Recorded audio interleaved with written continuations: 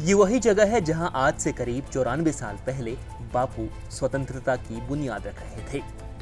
जुलाई 1929 में ब्रिटिश सरकार के खिलाफ हुंकार भरते हुए महात्मा गांधी राजधानी दिल्ली से करीब 500 किलोमीटर दूर कौसानी पहुँचे। और यहाँ बापू ने करीब 14 दिन बिताए। उन दिनों उत्तराखंड में कुली बेगार प्रथा के खिलाफ पहाड़ी क्रांतिवीरों ने बड़ी सफलता हासिल की थी और जब ये सब गांधी जी को पता लगी तो वह बेहद प्रभावित हुए। इसके बाद गांधी जी को जैसे ही वक्त मिला, वो माँ भारती के इन वीर सपूतों से मिलने पहुँच गए और आज़ादी की रणनीति बनाने कौसानी आ गए।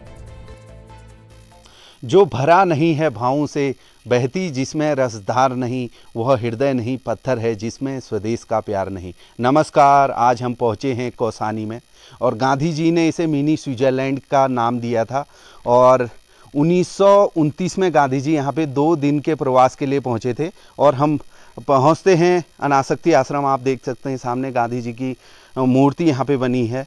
और बुरा मत सुनो, बुरा मत देखो और बुरा मत कहो। ये यहाँ पे तीन बंदरों को दर्शाया गया है। और हम अंदर चलते हैं। गांधी जी जब यहाँ रहे थे, उनकी कुछ सुनहरी यादें यहाँ पे हैं। और आज भी यहाँ पे प्रार्थना होती है। दूर दूर से यहाँ पे पर्यटक पहुँचते हैं प्रार्थना के लिए।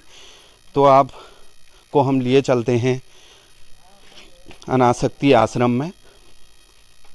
अनासक्ति आश्रम आप देख सकते हैं ये गांधी जी का अनासक्ति योग करके पुस्तक की जो रचना यहाँ पे उन्होंने की थी। आ, बहुत स्वागत है सर आपका। सर आप यहीं रहते हैं? जी सर। क्या नाम है आपका? मेरा राजेंद्र बिष्ट।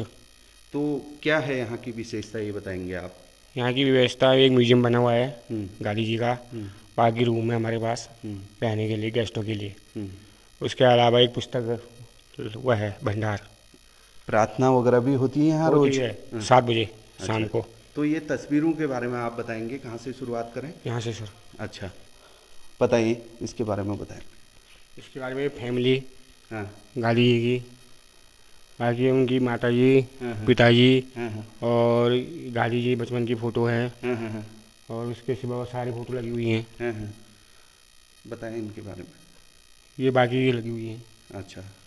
आगे आ जाइए ये गांधी जी ने तब कानून की पढ़ाई की थी एलएलबी किया था है ना? लंदन से उन्होंने पढ़ाई की थी। तो ये तब की तस्वीरें हैं और ये गांधी जी अफ्रीका में। अफ्रीका में है तब की तस्वीर है। तो आप देख सकते हैं यहाँ पे पूरा उनकी जीवनी फ़ोटो से दर्शाई गई है। अलग अलग तस्वीरें यहाँ पे हैं। पूरा जीवनी उनकी यहाँ पे दर्शाई गई है। तो यहाँ पे कहाँ कहाँ से पर्यटक आते हैं? यहाँ उत्तराखंड यूपी दिल्ली बम्बई गुजरात वेस्ट बंगाल मद्रास महाराष्ट्र से।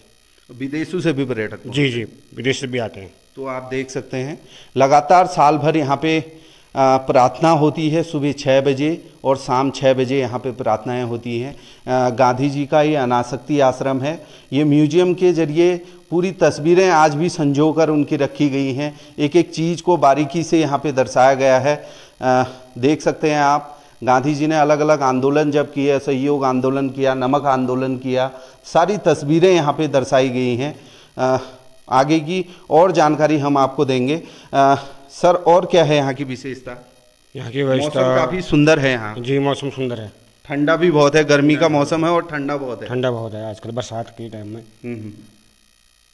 अन्यत्र जैसे अभी लोग गर्म से परेशान हैं गर्मी से लेकिन यहाँ पे ठंडा है आपने भी स्वेटर हाँ पहनी है। ठंडा है सर। हाँ। काफ़ी तो यही खूबसूरती को देखते हुए गांधी जी ने यहाँ का नाम स्विट्जरलैंड रखा। Mini Switzerland. जी मिनी स्विट्जरलैंड। तो आपने देखा गांधी जी का ये अनासक्ति आश्रम है। दो दिन का प्रवास उनका था यहाँ पे, और दो दिन चौदह दिन तक वो यहाँ पे रुके, यहाँ की खूबसूरती को देखते हुए। बागेश्वर के कोसानी से जगदीश पांडे, उत्तराखंड तक।